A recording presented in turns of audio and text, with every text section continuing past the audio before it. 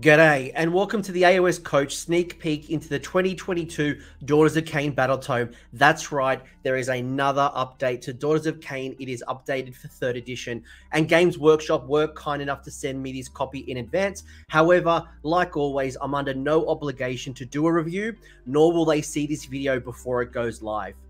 In this video, I'm going to focus on the Daughters of Khaine allegiance abilities, sub-faction rules, battle line options, and the various enhancements like spells, prayers, artifacts, while sharing some initial observations with you with a match play focus. To avoid making this video too long, I have separated the key War Scroll changes, the new battle tactics, the grand strategies, and the points into a separate video.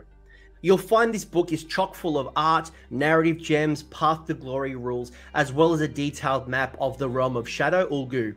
You will also get that unique access code so you can unlock the rules in the AOS app. So let's just crack on and see all the good stuff in this new battle tome. Looking at the allegiance abilities, Daughters of Khaine are going to continue to enjoy the blood rites table, though there has been some slight changes that we'll discuss in a minute, as well as you've gained a new faction-wide heroic action, you have gained a new command ability, as well as a bit of a cleanup when it came to fanatical faith. Now you have retained the six temples, so if you remember them, Hagg Nar, Khailebron, Xanthar Kai, aka Cobra Kai, as well as the Kraith, Draichi Ganeth, like they're all there. So nothing has changed in regards to the options. You haven't gained any more, but the rules have certainly changed. Battle Fury is that new heroic action. And if you use Battle Fury over heroic leadership, heroic recovery, etc., etc., you have to carry it out with a Daughters of Khaine hero that is not a monster. So that could be your new High Gladiatrix, it could be one of the Medusa heroes, it could even be a Cauldron of Blood who isn't a monster, though it is a behemoth. And should you happen to use a Battle Fury, you will get two extra attack characteristics to the melee weapons used by that hero till the end of that turn. Now, the heroic action doesn't affect the weapons on the hero's mount.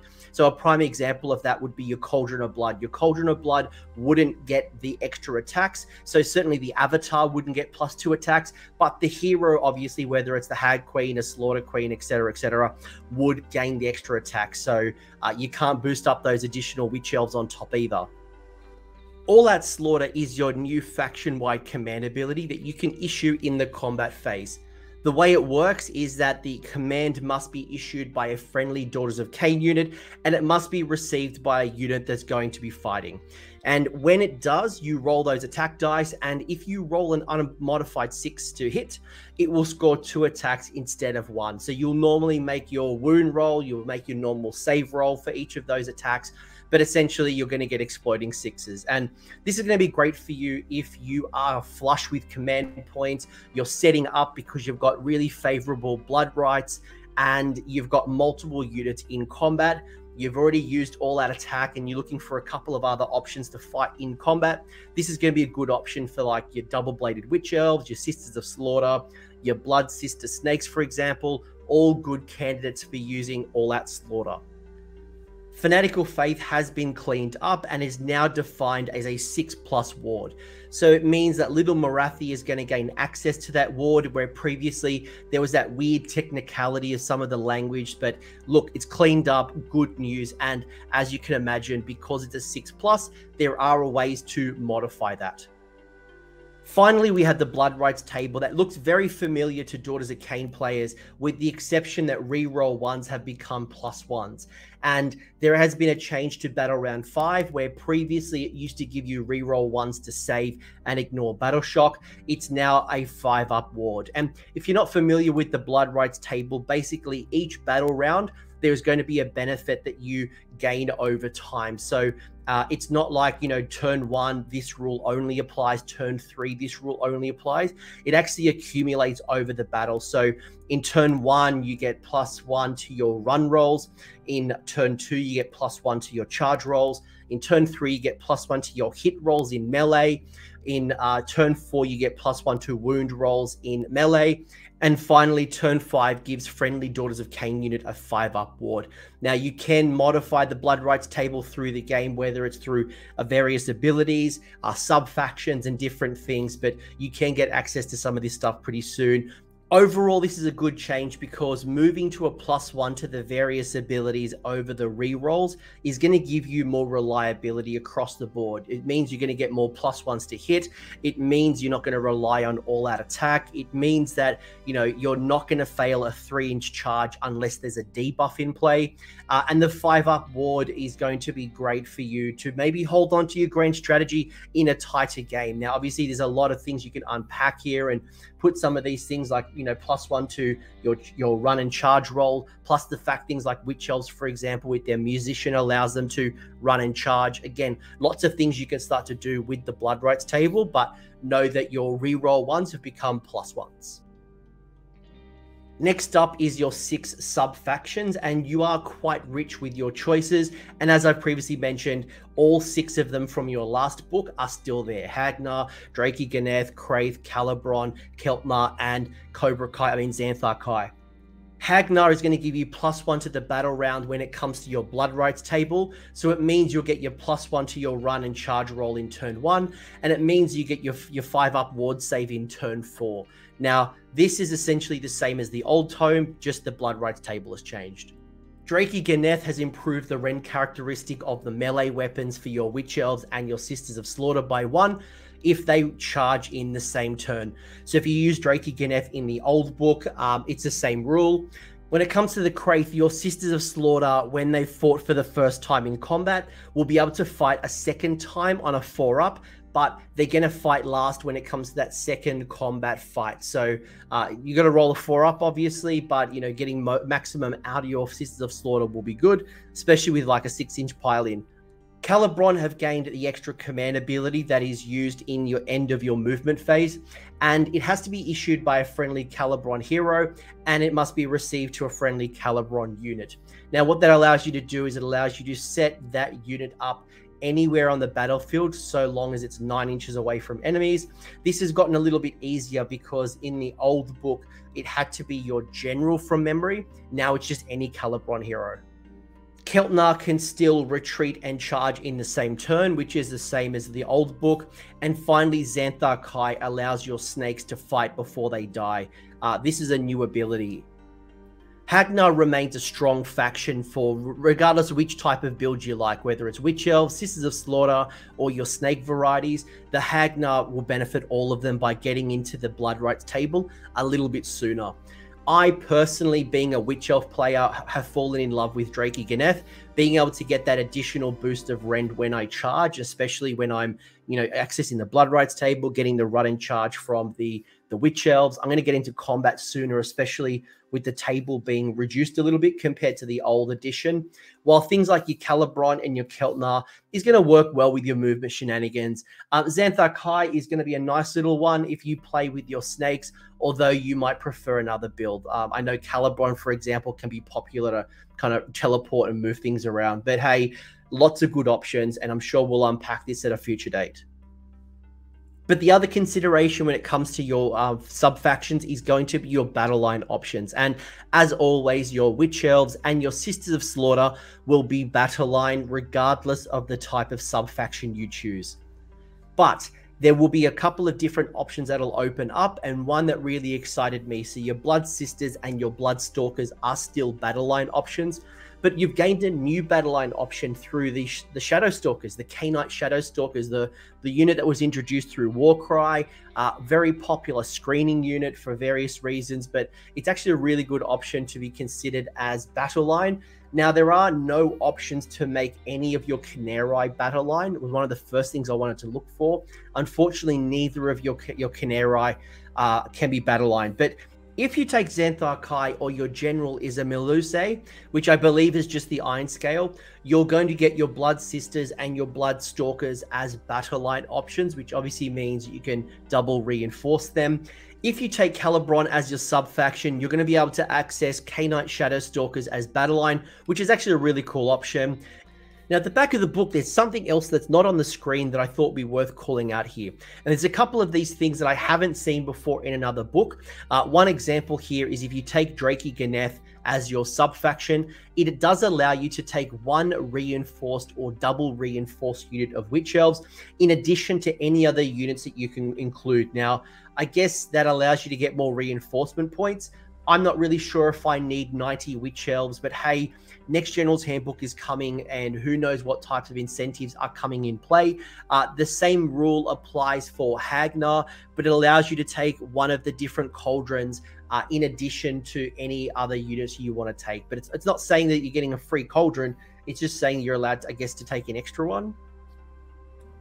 There are seven command traits to choose from. Arcane Mastery is only for wizards, and it gives access to all of the Lore of Shadows.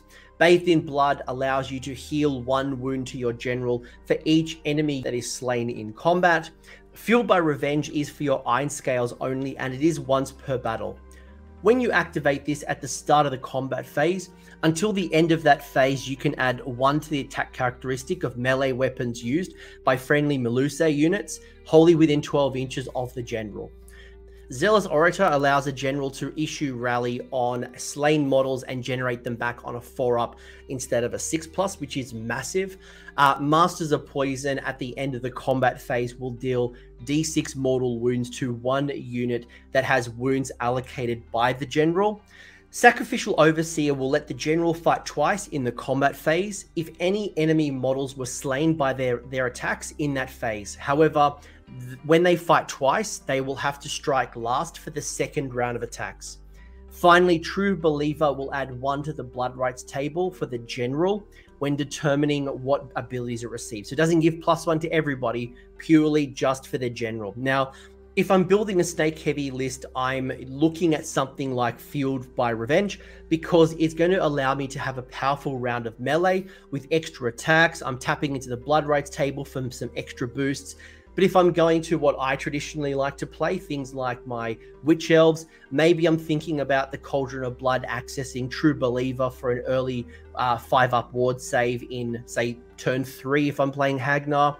Or maybe the Zealous Orator will allow me to bring back more stabby, stabby, fragile Witch Aelves, but obviously I can't bring them back if they're in combat. So um, there's a lot of good options for me here. I don't think there's necessarily just the, the one to pick.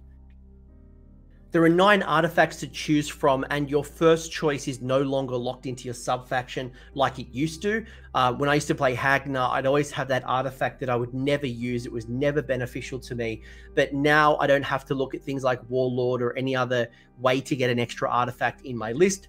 And the nine artifacts are broken down into four universal artifacts for any Daughters of Khaine hero, three that are specific to wizards, and another two that are specific to priests. Bloodbane Venom allows you to pick one of your bearer's melee weapons, and after the bearer has fought, if there are any wounds caused by attacks made by that weapon in the phase that were allocated to an enemy model and the enemy model hasn't been slain, so you do a bunch of wounds, the model doesn't die, you roll a dice. If that roll is equal to or greater than the model's wound characteristic, that model will be auto slain. The Crone Blade, you get to pick one of the bearer's melee weapons, and if the unmodified hit roll for the attack is a 6, you get to heal one wound allocated to the bearer after all of the attacks have been resolved. Now, Crown of Woe, and probably my favorite one, is enemy units cannot receive the Rally or Inspiring Presence command while they're within 9 inches of the bearer. And in addition, and I love this one, if the enemy model is slain by wounds caused by the bearer's attacks, that range, that bubble, is increased to 15 inches for the rest of the battle. The last universal is the Rune of Khaine, and the first time that the bearer is slain, uh, it can actually fight before it's removed from play. But Crown of Woe has to be one of my favorites here because as we approach that battle line meta for General's Handbook 2022, we see the return of screens, we're seeing more hordes hitting the table. If I go in and slay an enemy model with the hero that obviously has the Crown of Woe, uh, let's say it's my Cauldron of Blood that has the Crown of Woe, then all of a sudden I have this massive 15 inch aura that is going to stop my opponent not only rallying, but inspiring presence. And considering we're seeing more and more examples of four up rallies, Fire Slays is one of those examples. Um, this could be a very powerful ability.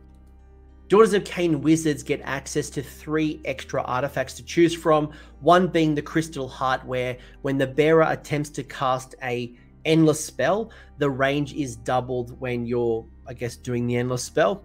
You've got the sevenfold shadow, where once per battle in the movement phase, instead of making a normal move with the bearer, you can remove it from the battlefield and set them up anywhere more than nine inches away from enemy units. And finally, you've got the Shadow Stone that adds plus one to casting rolls for when the bearer is attempting to cast something from the Lore of Shadows.